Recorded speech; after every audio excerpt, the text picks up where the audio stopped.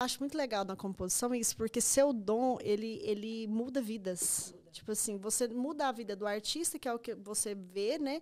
Mas além da vida do artista, tem a vida da família do artista, da, da, das pessoas Não, ali, é impressionante. do escritório, É o- das pessoas que Por vai isso que o nome é dom, né? Você não tem como virar um compositor se É, você não tem eu o isso dom. que eu ia te perguntar Deus hoje. dá o dom para quem vai partilhar.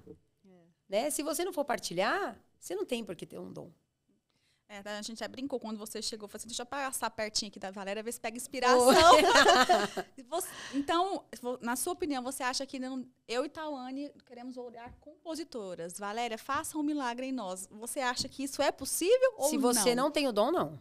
Não tem como. Amiga, eu não posso aperfeiçoar, se você tiver o seu dom, eu posso te deixar Afiado. é, afiada. Mas sem dom não tem. Você vai ser aquela compositora que vai chegar com um tema, com uma palavra e entrar na música.